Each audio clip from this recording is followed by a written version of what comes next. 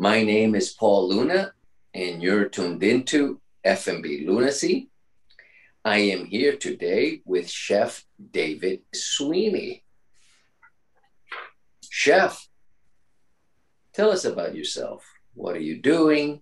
What are you working on? Right now in Atlanta, I'm working Freedom Farmers Market every Saturday and uh, have been for a year, approaching a year now. Um, before that, I was at Grant Park Farmers Market. Uh, started a, and I did this uh, probably five years ago. Was working on a energy bar, a Seedy bar, but it's developed into something much different than what I started with then, and uh, and uh, I'm happy with it now. I think my customers are happy with it, and uh, so I'm able to sell it through these farmers markets. You know, Atlanta has amazing farmers markets. Um, all of them are.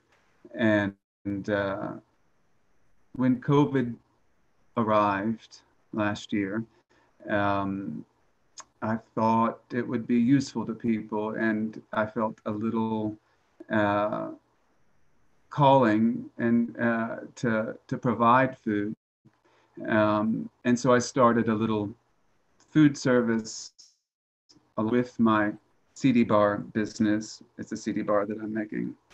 Um, the, pun, the, pun, wasn't intended, but I just I'm going to roll with it, um, and uh, and probably have fun rolling with it. I think. Uh, but uh, so I've, I've done a little food service this past year. Sorry to get off track there. Um, and I'll run it through the end of this year. It's been a very nice way for me to interact with old customers that I that are customers that I've had uh, since uh, the restaurant that I had here that you know of, um, and uh, I've had very faithful customers the whole time here in Atlanta. So it makes me very grateful, very grateful to see them, very grateful to offer them a service uh, and offering them food. Um, and I'm, I'm happy this year actually to, to have my hands back in food this way uh, because it's uh, brought me back to an initial mission that I had for myself when I came to this city. I'm not living in this in Atlanta anymore, which I can tell you about later. But um, yeah, so this this past year, the growth for myself in the kitchen with the food, with the the the uh, the thoughts I've always had about food and cooking um, came rose within me, and uh, I I wasn't feeling that way for a long time. So I was very happy that for myself that uh, I I was feeling my roots or feeling my oats, whatever you say, um, you know, getting into my groove in the kitchen and with food and um, and offering it to people in the way that I intended when I entered the food and beverage industry. Why did you become a chef? Uh, because I wanted people to know that um, eating healthy food will make them feel good and and all the other things that are attached to that. They'll be more connected to the earth. They'll be more connected to nature. They'll be more connected to the seasons. Um, and they will strengthen their immune system and be strong and healthy. It's what food is there for. And they can have pleasures with it as well in eating, but um, mainly to, to make people understand um, or help people understand uh, how how healthy food can be for you and and and and how it can make you feel not just physically either. For me my mental health is affected by food as well. I know how i feel when i've eaten a warm uh, freshly prepared meal and what that does for me, not just my body, but it, you know, it, uh, it also oils my brain. And uh, yeah, I think there's a lot. I think there's a, a, lot of like I was about to say lunatics out there, but there are some. um, you know, crime crime statistics if you look at them people who go nuts they really haven't eaten that well so um, in most cases fill in the blank cooking is wonderful. A gift, a pleasure. Is there a food related product you eat that is embarrassing? Um, well, it's not embarrassing, but um, uh, there is this cracker in, in the US that uh, has been around since my childhood. It's a cheese cracker called a Cheez It. And um, they, you know, the Cheez It has been the Cheez It for probably 15 years. I should look it up, but it's been around like there's Cheez Its everywhere. So there's Cheez Its in gas stations too, right? And it's uh, in, in a foil wrapper. It's like clean cheese. Its are pretty safe on the road if you have nothing else on you. Um, I generally have food on me, but when I saw those snapped Cheez It sour cream crackers uh, at the um, RaceTrac gas station, um, I tried them once and I decided they really weren't that bad. Yeah, in that moment. Later, I was like, no, but I will still grab them every now and then. David, if I'm not mistaken, aren't you doing crackers right now? I am. So um, I'm trying to find a solution. This is one reason probably why I try and enjoy. Like I don't know that I'll arrive at the perfection of that little no, the cheese. It's not that that that. Uh, I'm not going to go on about that anymore. But um, yeah, I think to understand what other people are eating, sometimes you have to try those things. I am making raw crackers right now, and uh, and uh, they're with sprouted sunflower seeds, pumpkin seeds, and then ground raw kale. Um, there's some flaxseed in there as well. And I kind of consider them a salad on the go. It's considered a raw item. We make them in the dehydrator. Um, and uh, I, I started to make them for myself and realized because I made or said before like you can get really bitchy if you don't have something green every day. Like we should all have like a daily green. Um, back to loon, crazy lunatics. Um, Maybe so, that should.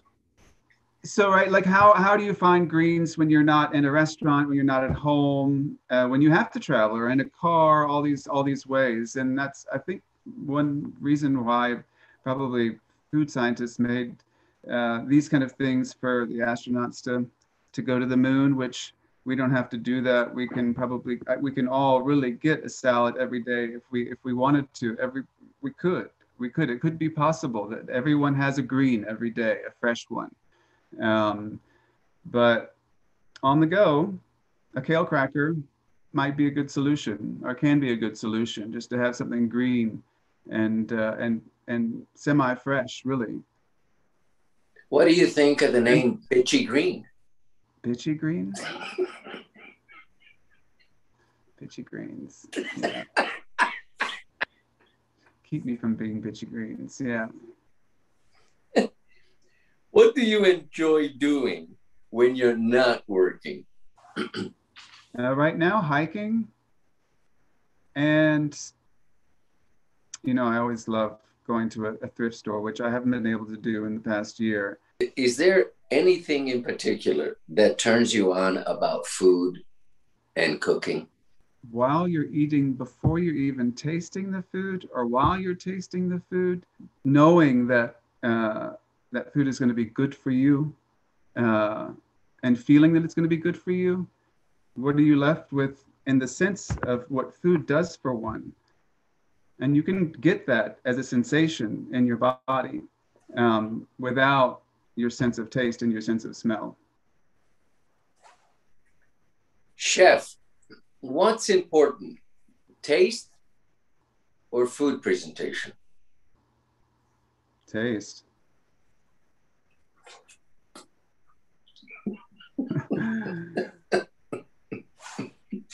yeah.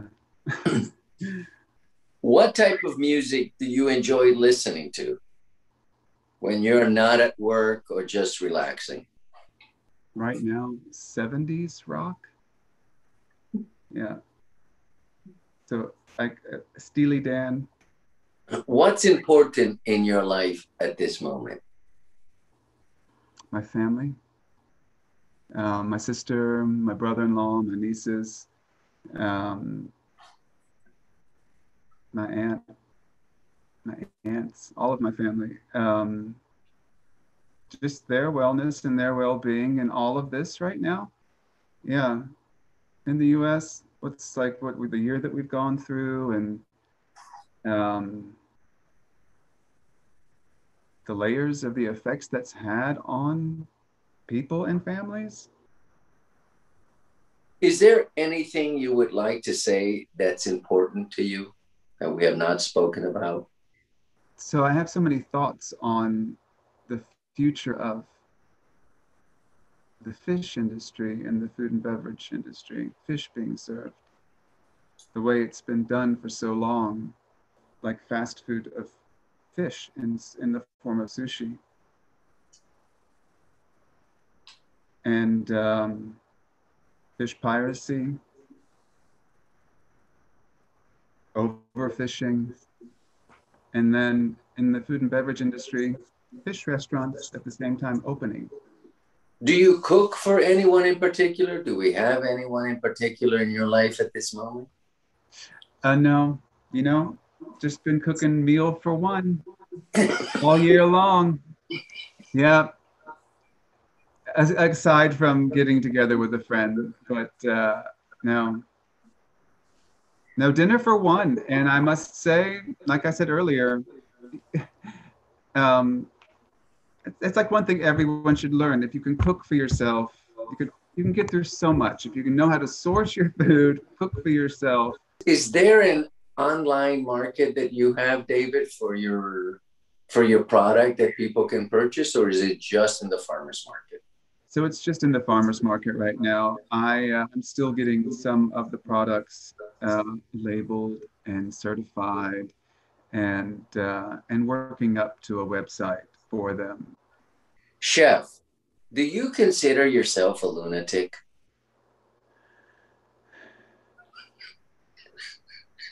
I've definitely, um, in my head, called myself something, if not that, of the sort. Uh, yeah, and and I, yeah, it passes very quickly, fortunately. Right? And then I'm like, no, no, you got it all under control. It's like, no. It's good to question yourself in that way, though, isn't it? I mean, I, I, uh, like, am I making sense? Um, I think it's a good thing. Otherwise, wouldn't we be narcissists?